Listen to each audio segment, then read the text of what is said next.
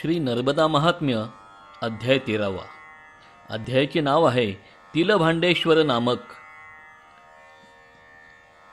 श्री गणेशाय नमहा हे वनमाली तुझा जय जयकार असो. हे मुरलीधरा तुझी मुंजूळ मुरली वाजव व आमच्यावर कृपा कर. तुझ्या वेणूच्या मुंजूळ स्वरांनी माझ्या मनातील सर्व दुःखांचे हरण होते. हे श्रीहरी माझ्या मनाच्या कुंजनवनात तू विहार कर. वशिष्ठ ऋषी श्रीरामाला पुढे नर्मदा महात्म्य सांगू लागले. ऋषी म्हणाले हे दाशरथी रघुवीर मी आता तुम्हाला तिलभांडेश्वर तीर्थाच्या स्थापनेची कहाणी सांगतो. एकदा सर्व मुनींनी मिळून नर्मदेची प्रदक्षिणा करण्याचे ठरविले. नर्मदा प्रदक्षिणेचा महिमा फार मोठा आणि थोर आहे. तिच्या प्रदक्षिणेने सर्व पापांचा नाश होतो. हे रामा प्रदक्षिणेला निघालेल्या ऋषींचे मी तुला नावे सांगतो. त्यांच्या फक्त स्मरणाने सर्व पापांची होळी होते. दुर्वास वामदेव अत्री वाल्मिकी कृतवर्ण वशिष्ठ विश्वामित्र गौतम सावर्णी याज्ञवल्क जमदग्नी भारद्वाज कश्यपमुनी मार्कंड मुनी शौनक मुनी लोहाक्षी आणि अंगीचारक तसेच शकून आणि इतर सर्व ऋषीमुनी यांचे फक्त नाव ऐकल्याने सर्व पापे नाश पावतात. हे सर्व ऋषी विज्ञान निपुण आहेत. स्वकर्मामध्ये सर्वजण व्यस्त राहून महाआनंद भोगत असतात. त्यांच्यापैकी कोणी शैव तर कोणी वैष्णव. परंतु मनात कुठलाही भेदभाव न ठेवता सर्वजण आत्मानंद आत्मआनंदी रंगलेले असतात. कोणी कर्मकांड करतात तर कोणी ज्ञानसंपादनाचे किंवा ज्ञानार्जनाची कामे करतात. कोणी उग्र तप आचरतात तर कोणी प्राणायामाने स्वतःवर नियंत्रण साधतात. कोणी वेदशास्त्रात पारंगत तर कोणी वेदार्थात. त्यांची निस्पृहता पाहून सर्व सिद्धी त्यांच्या पायी लोळण घालतात.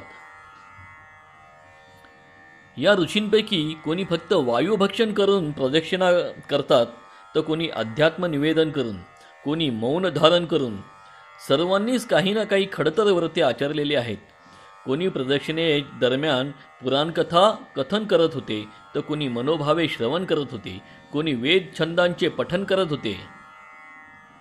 असा हा सर्व पवित्र ऋषींचा मेळा नर्मदा प्रदक्षिणा करीत होता. आणि त्याचवेळी मकर संक्रमणाचा पर्वकाळ आला. सर्व मुनींनी मिळून मकर संक्रमणाच्या पर्वकाळात नर्मदा स्नान केले. परंतु पर्वकाळात वाहण्यासाठी कोणाकडेच तीळ उपलब्ध नव्हते. आणि या काळात तीळदाना तीळदानाचे फार मोठे महात्म्य आहे. एक तीळ वाहिला तरी सोळा सहस्र तीळदानाचे पुण्य लाभते.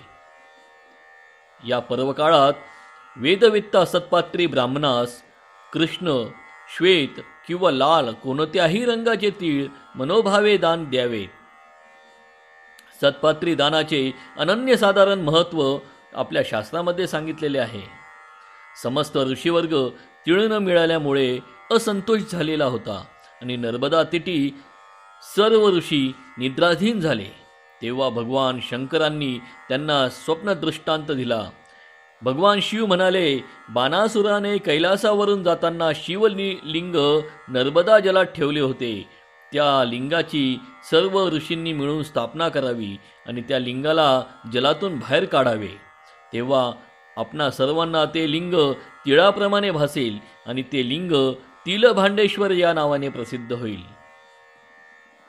तुम्ही हे लिंग जलाबाहेर काढून त्याची वेदमंत्राद्वारे विधिवत पूजा करून स्थापना करावी. आणि असे केले असता तुम्हा सर्वांना तिळदानाचे पुण्य लाभेल.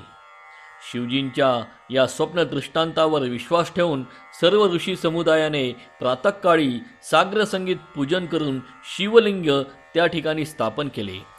जो कोणी या शिवलिंगाचे मकर संक्रमणाच्या दिवशी मनोभावे पूजन करेल त्याला अनश्वर फळ प्राप्त होईल. म्हणजे कधीही नाश पावणारे फळ त्याला मिळेल.